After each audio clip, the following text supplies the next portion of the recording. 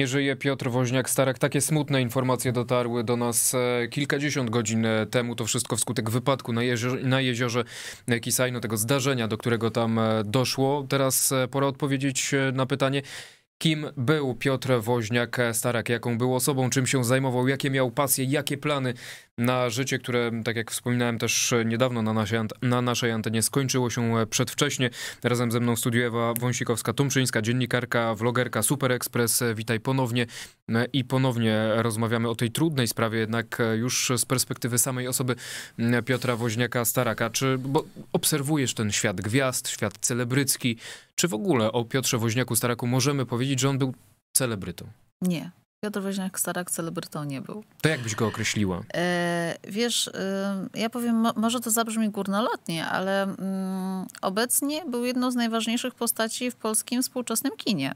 Taka jest prawda. I celebrytą nie był. On y, czasami widywaliśmy go na jakichś zdjęciach paparazzi, ale to wtedy, jeżeli towarzyszyła mu żona Agnieszka, która pewnie bardziej była obiektem zainteresowania i mediów plotkarskich, y, i tabloidów, y, paparazzi raczej ją śledzili, a jego w jej kontekście. E, natomiast tak naprawdę o prywatnym życie, życiu Piotra y, za jego życia mówiło się bardzo niewiele. Y, natomiast no, trzeba przyznać, że dla filmu polskiego zrobił w ostatnich latach bardzo dużo, bo to, co zrobił, y, było głośne, było dobre i na pewno przejdzie do historii tego dziesięciolecia kinematografii polskiej. O tych filmach, e, o tym dorobku filmowym właśnie, który zawdzięczamy Piotrowi e, Starakowi, Woźniakowi Starakowi, e, jeszcze porozmawiamy na naszej antenie. Zacznijmy jednak opowieść o samej postaci od rodziny. Z jakiej rodziny wywodził się Piotr Woźniak-Starak? Piotr Woźniak-Starak był synem z pierwszego małżeństwa mm, Anny Woźniak. Anna Woźniak była modelką mody polskiej przede wszystkim, ale również miała tam jakieś zagraniczne kontrakty, o których wiadomo.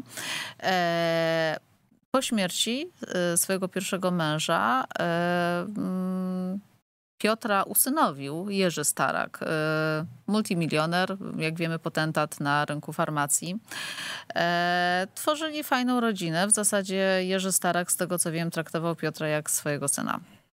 No i właśnie, i syn w drogi ojca nie poszedł, nie poszedł w tą e, zarządzanie tym e, konsorcjum farmaceutycznym, tylko wybrał zupełnie inną drogę.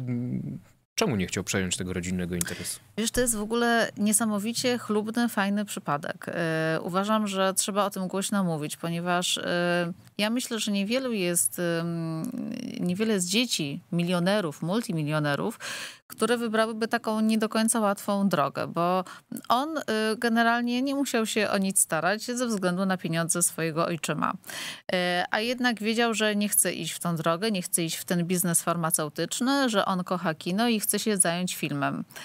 E, był poza tym człowiekiem, który y, kształcił się. On do, dużą wagę przykładał no właśnie do... to jego wykształcenie, jak się też przyglądałem, to robi ogromne wrażenie. Właśnie tak jak mówisz, jest imponujące. Imponujące, bo szkołę średnią kończył w Szwajcarii. Wiemy, że państwo Starakowie mają y, dom w Szwajcarii, więc to też pewnie było jakieś y, ułatwienie.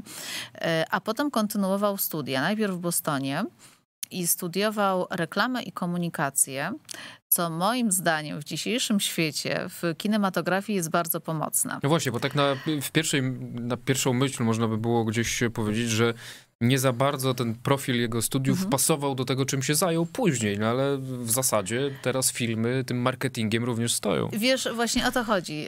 Y, kino się teraz zmieniło. Zauważ, że filmy, na które naprawdę ludzie chodzą do kina i teraz nie mówię może o ich wartości artystycznej, ale powiedzmy, co ludzi przyciąga do kin. Przyciągają filmy, które tworzą y, ludzie nie stricte po studiach y, filmowych, na przykład Patryk Wega. Patryk Wega skończył socjologię nie ma studiów film, y, filmowych, prawda? Natomiast na jego filmy, mm, nie oceniajmy tutaj ich jakości i wartości artystycznej, ale y, marketingowo są tak zrobione, że właśnie no, miliony na nie chodzą. Y, mm, zawsze są kasowe rekordy. W przypadku Piotra Woźniaka-Staraka jednak jest sytuacja inna, no, ponieważ jego filmy były nagradzane na największych festiwalach filmowych w Polsce, doceniane za wartość artystyczną. A ja myślę, że właśnie w tym, jak one wyglądały, dużą rolę odgrywało, mm, odgrywał fakt, że Piotr dużo wiedział na temat komunikacji, którą, tak jak wspomniałam, studiował y, w Bostonie. Mm, one były również bardzo plastyczne a on studiował design w Nowym Jorku, więc też taką wrażliwość y, tego typu plastyczną na pewno y, miał. I jeszcze wiesz, zaznaczę jedną rzecz, bo to jest to, mówi się, no on był producentem, a nie reżyserem, prawda? Cóż, cóż producent może? Producent zbiera pieniądze. No on był takim specyficznym producentem, ponieważ był cały czas na planie i u niego reżyser nie miał dużej swobody. On wiedział, jak film ma wyglądać. Nie wpływał może na wizję, ale wpływał na to, żeby wizja, którą wcześniej ustalili, była zrealizowana. I sam osobiście nad tym czuwał. No i jak ta realizacja w takim razie jest oceniana? O tym Państwu powie Łukasz Adamski, który dołączył do naszej rozmowy telefonicznie. Łukaszu, e, witaj bardzo serdecznie. Łukasz Adamski, krytyk filmowy, publicysta Tygodnika Sieci. Witaj, czy się słyszymy? Tak, tak, słyszymy się. Witaj, dzięki za zaproszenie. I powiedz e, mi właśnie, jak e, z twojej perspektywy krytyka filmowego wygląda to, nad czym e, czuwał, no jeszcze za życia, Piotr Woźniak, Starak, te filmy, między innymi Bogowie, które mhm. wyszły właśnie spod pieczy Piotra Woźniaka Staraka.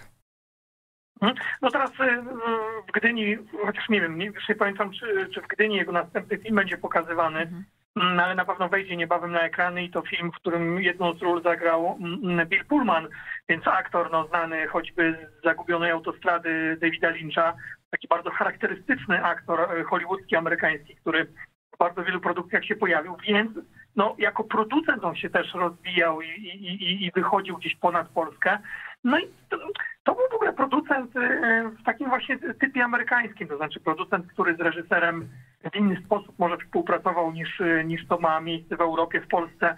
Ten reżyser nie miał aż takiej tej swobody artystycznej, jaką może mają reżyserzy w Polsce, ale to no, on no, z takiej perspektywy właśnie amerykańskiej patrzył na film. No ale właśnie, czy ta perspektywa amerykańska twoim zdaniem się sprawdzała na tym naszym polskim filmowym e, Ona się, ona się sprawdzała pod kilkoma na, na, kilku płaszczyznach, bo ona się na pewno sprawdzała oczywiście no, frekwencyjnie Bogowie, no to był sukces i komercyjny i artystyczny. Ten film dostał nagrodę w Gdyni zarówno jury głównego, jak i dziennikarze. Ja również go głosowałem, żeby ten film dostał nagrodę jako dziennikarz. Natomiast to jest bardzo istotne on chciał swoim, e, swoimi filmami pokazać, że nie musimy zawsze mówić o porażkach e, e, i klęskach narodowych.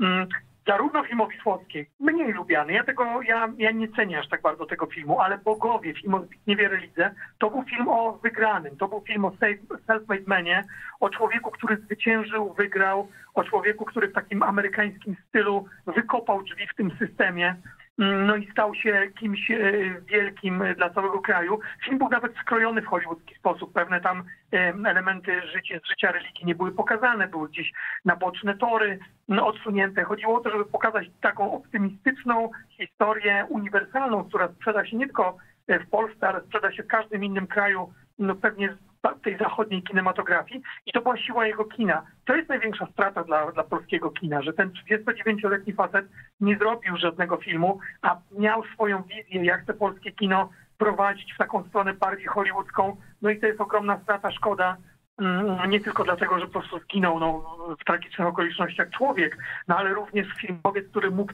naszej kinematografii coś dać nowego ponad to, co dają producenci mm, do czego nas przyzwyczaili. Ale ktoś by mógł powiedzieć, Łukaszu, że mm, to, że Piotr Woźniak-Starak zajął się tymi filmami, to był e, kaprys bogatego chłopaka. Czy tak byś mógł to określić, czy może tu byś zupełnie inne stwierdzenie ułożył?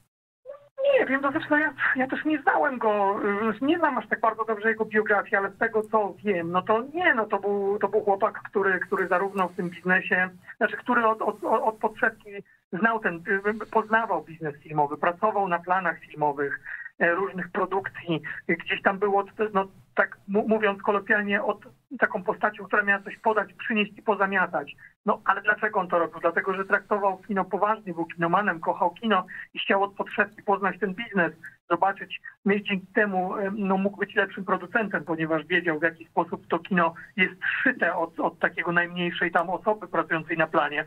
Więc nie no, jego rodzina, o ile, o ile wiem, no nigdy w żaden biznes filmowy nie inwestowała.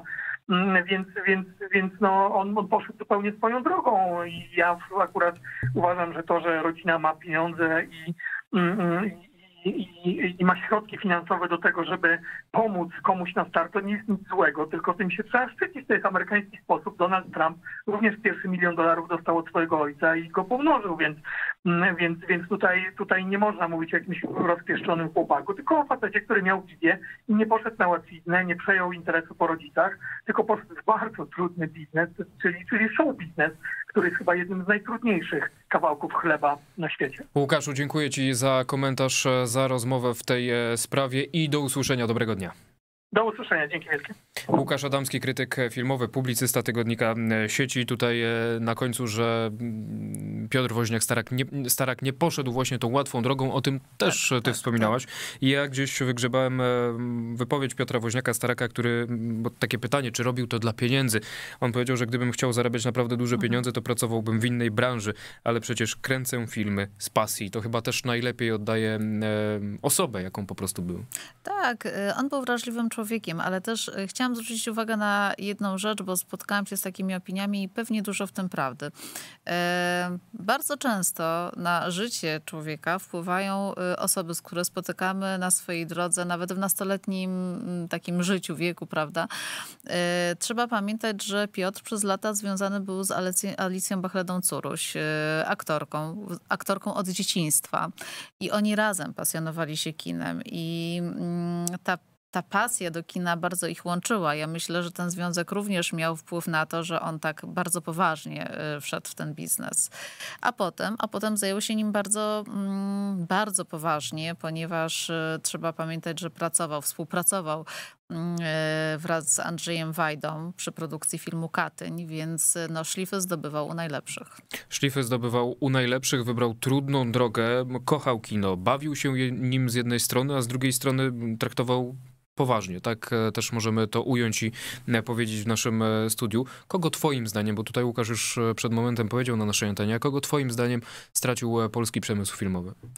Wiesz co, polski przemysł filmowy stracił kogoś, kto miał wizję polskiego kina, kto mógł je wprowadzić na takie tory nowoczesnego na światowym poziomie kina, które mogło robić też wrażenie za granicą.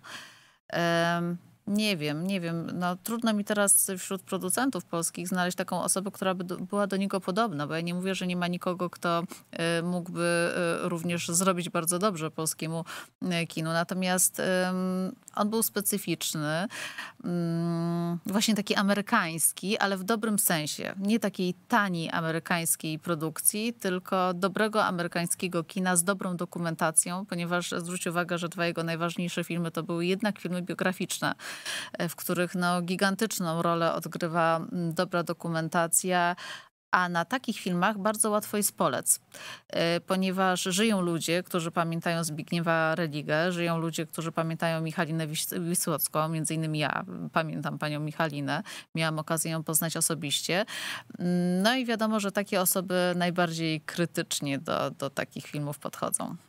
Na premierę w Gdyni czeka właśnie film Zimna Gra, to najnowsze mhm. dzieło z podpieczy Piotra Woźniaka-Staraka. Ja jestem ciekaw, jak e, ten film będzie wyglądał, bo to też ambitna produkcja, o ile się nie mylę, anglojęzyczna, zaangażowani właśnie znani aktorzy, nie tylko polscy, ale właśnie również zagraniczni, zagraniczni, więc warto będzie śledzić informacje o tym filmie, no i ten film pewnie zobaczyć, o, chociaż no, też myślę, że wtedy pojawi się taka przykra myśl, że to jest ten ostatni film, który Piotr Woźniak, nad którym Piotr Woźniak Starak e, czuwał i że nie będzie już e, kolejnych e, produkcji, nie będzie właśnie gdzieś pójścia jeszcze o krok dalej, kolejnych pomysłów. Wiesz, film Ukryta Gra to jest jego ostatni film, a on bardzo pięknie porównał kiedyś swój zawód i to jest też takie, powiem ci, wstrząsające w tej całej historii, bo porównał swój zawód do rejsu statkiem że rolą producenta, mimo że ta łódź czasami się chyli, że miotają nią fale, jest doprowadzenie ekipy i filmu do właściwego portu. No i tutaj w jego przypadku tym ostatnim portem będzie